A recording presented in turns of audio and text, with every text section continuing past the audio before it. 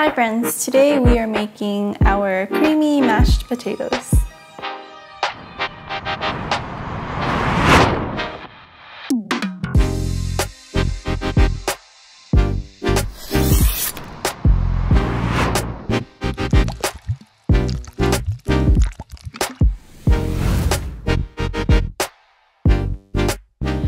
We're gonna add just enough water to cover the tops of the potatoes. We don't want there to be too much, but we want everything to be evenly covered.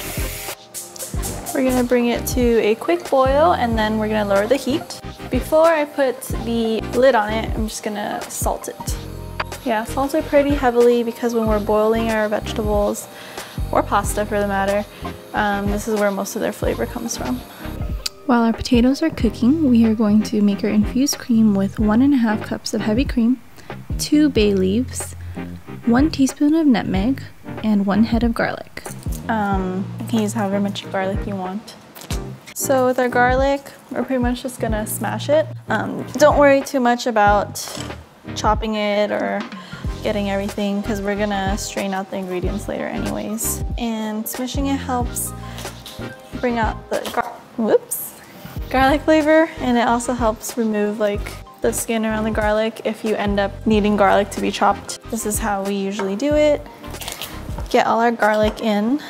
We can take these garlic skins, dump it into our compost. Composting is just great.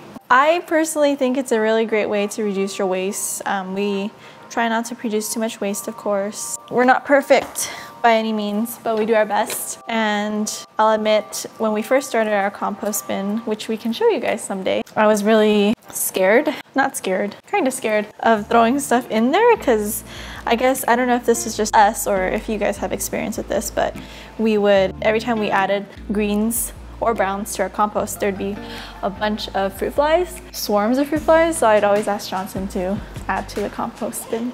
Mm -hmm. Um, and I know people have said that could be if you like have more greens than browns or whatever. But I think that was just the start of our compost bin, like where there are just more fruit flies. But now um, we try to keep our browns over our greens, keep it covered. And even if we don't do that, it's not as many fruit flies. Okay, so all our garlic's in here. Um, we're gonna add our thyme, several sprigs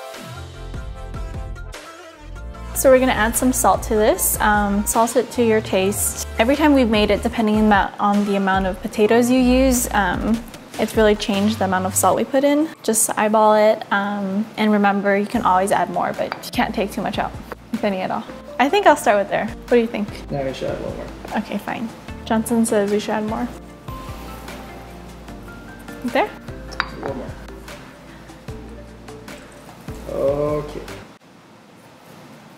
That was about three pinches of salt. I would say each of my pinches was maybe like half a teaspoon. So maybe one and a half teaspoon-ish. It'll be fine. So we're going to let this simmer. Make sure everything's mixed in.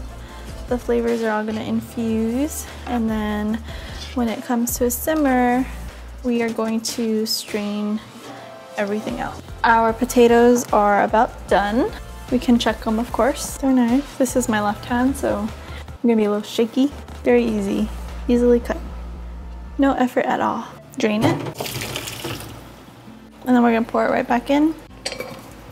I'm gonna put the cap back on so it steams a little longer. So while this is steaming, I'll talk about our potato racer or ricer. I don't know.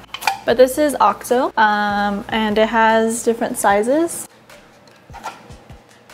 depending how big or small or chunky or lumpy you want your potatoes. We are going to go to the finest setting, um, but essentially you just put potatoes in there and then you squeeze it out and then it's nice and silky. Alternatively, you can just use a potato masher if you have one, we don't have one, or a fork or a big spoon, which is what we used to use before we got this. We're just gonna put the potatoes in here. Um, I personally like my mashed potatoes a little chunkier. Johnson likes it really creamy and really smooth. So that's just the way we're gonna make it today. Really creamy and really smooth. And then we will just push it into our bowl.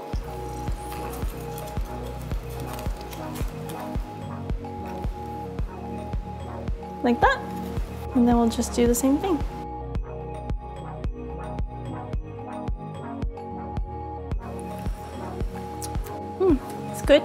I'm just gonna add a little bit more salt. Like I said, you can always add more, but you can't take out.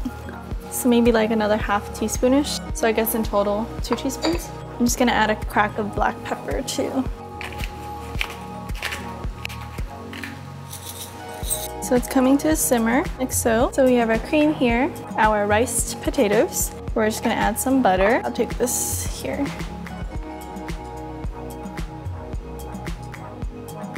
So probably like mm, four tablespoons of butter, quarter cup, half a stick ish.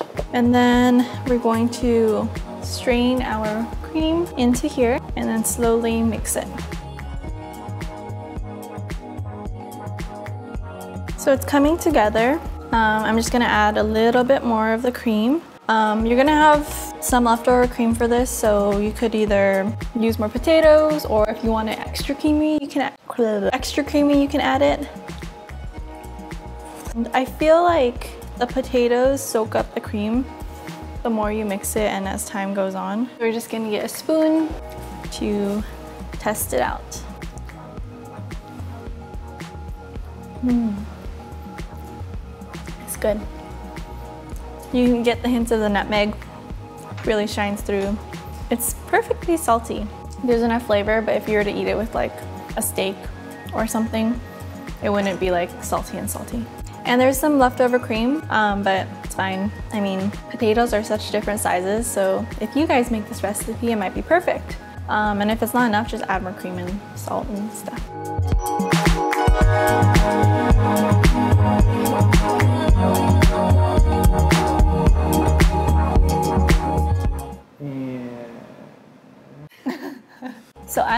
Spicy food and I love Zindrew Chili. So we have their suicide batch here. And so I added some of that to my mashed potatoes. Mmm.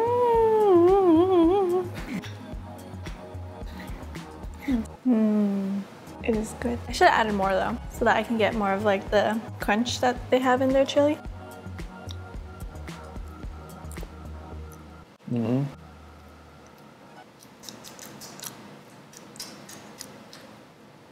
It's good. It's very creamy. When I watched Gordon Ramsay make this, he made it like very, very creamy where it's like soup. Yeah, if we added the rest of the cream, it'd probably be like soup. Real good. Mashed potatoes with Zindrew Chili. Pretty good. It's actually pretty good. We had the OG one, and then we actually put like the a lot of it in with the crispiness. yeah. That'd be really good. It's good, guys.